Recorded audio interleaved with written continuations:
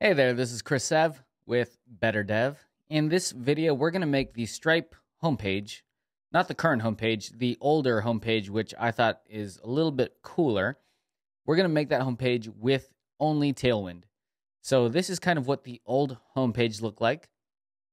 And this sort of inspiration came from a few different iterations. There's this tutorial from Luke Brown on how to create Stripe's gradient banner with just CSS grid. So that is what the old Stripe homepage looked like, and we're going to do that. So I kind of took this tutorial in a stream maybe six months ago and turned it into this landing page for DigitalOcean. So this is a fun thing that we're using at DigitalOcean for one of our demo apps. So I thought, well, this was plain CSS, and here in the Better Dev Discord, we had a buddy in there, Christian Von Uffel. He made this in Tailwind, and it kind of sparked my interest in this idea again. So I thought, you know what? Let's make a tutorial and a video on how to build the Stripe homepage in Tailwind. So this thing right here is what we're going to build. Let's get started. So I'm going to go into a brand new CodePen here. I am going to go into my CSS settings, make sure that we have Tailwind. Save that, all right, so let me make sure that you all have enough zoom in right here. So let's go to 20, and then let's also zoom on the page. So that should be good. Hide HTML, or sorry, hide CSS and JavaScript. We don't need it thanks to Tailwind. And let's get started. So with demos like this, we usually have a section and we are going to say, hey, section, your height is the height of the viewport, and then we're going to center everything inside of it. So let's keep to that idea. And we're going to say min height is screen. We're going to say flex items center and justify center. Now inside of this, we're going to have content. And the technique we're going to have here is we're going to create a second section for stripes. So we're going to have stripes and then we're going to have the content itself. So we'll start off with the content. I'm going to wrap the content in a div because you could have a ton of content like an H2, like a P tag, call to action button, image, all that good stuff. So we'll say H2 here. Let's go ahead and use our Emmet right off the bat. Let's go for font is extra bold. Let's go for text is 5XL, text is white, and our content is going to be Stripe homepage with Tailwind. Cool. I'm going to press tab there and that should look pretty decent. You can't really see it because there is a white background and the text is white. so let's talk about how we're going to use the stripes for the stripe background. That's kind of funny. So we're going to create a div right here. And then inside of this div, we're going to use CSS Grid, and we're going to use it with the Tailwind Grid classes. I've got a video on Tailwind's CSS Grid classes Please check that out if you want to know more. Really helpful classes. But we're going to do a little bit of it in here, and we're going to say div times 6 in here. So the technique we're going to do here is we're going to say class here. We're going to give this a background, and let's just do black right now just to kind of demonstrate what is going on. And what's going to happen is if we did background black here, and let's give it a height, height of 20, then it would show the background here, and we also give it a width of full, and that will give it a shape. That's where our thing is going to show. And then what's going to happen is our text right here, if we did text black for this, is going to show on the right side of that since the parent is flex, so they're going to sit side by side. Right here is flex, so stripes, and the content are going to sit side by side. We don't really want that. We're going to say white right here. What we're gonna do is take the stripes div completely out of the document flow. So we're gonna say, let's drop all that. We're gonna say absolute right here. And since this is absolute, it needs a parent to be relative, and I'll make this section right here relative. So what this is gonna do is say, hey, stripes, you're gonna place absolutely inside of this div right here, and we can say, uh, you can set the height, you could set the width, you could set the top, right, left, zero to zero, but what we're going to do here is say inset zero.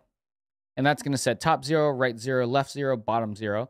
And that way it's going to stretch to all the dimensions there. Now our stripes are here absolutely positioned with a background of black. Our content, we're going to need to say class is relative. and now that will sit on top of the stripes. So the stripes is an absolutely positioned element on this div right here. And to make sure that 100% it's not going to interfere with like highlighting text or anything like that. And it looks fine now, but just in case, I'm going to do pointer events none. And that ensures that this div doesn't really take any clicks or hovers or selections like that.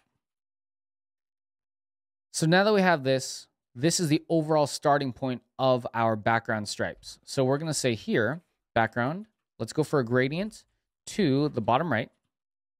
And I'm going to go for from blue at 400. We're going to go to blue at 500. Cool. But to get this to pop a little bit more, kind of like how the Stripe homepage did, let's go for via purple at 500. And what that does is it adds another color stop in the middle of this gradient. All right, so I think that's going to do it to wrap up this entire section right here, or for the background at least. So next up, let's add a div here, and I want to wrap all of these in a div, and then give this div the class of grid. So essentially what we're going to do here, and I'll show it off in a second, is we're going to create a grid of six columns by four rows, and then each of these we're going to color and place into a specific spot in that grid, and then that will create our background. So I'm going to say here, well, let's create our grid first. Grid columns, six, grid rows of four. And this might not take because there's no content, so we may have to do height full, width full. Height full and width is full. All right, so now we can start styling out these things right here. So we're going to say class is background purple at 700. And you can start to see that first one show up. And then let's do the second. Class is background blue at 700. And the third one, let's do background is purple at 800. So they're all pretty similar. But the cool thing about this is we can start to say, hey, you column span two. So you're going to be two wide versus your two siblings that are only a single column wide. And let's see what else. We can class this one up.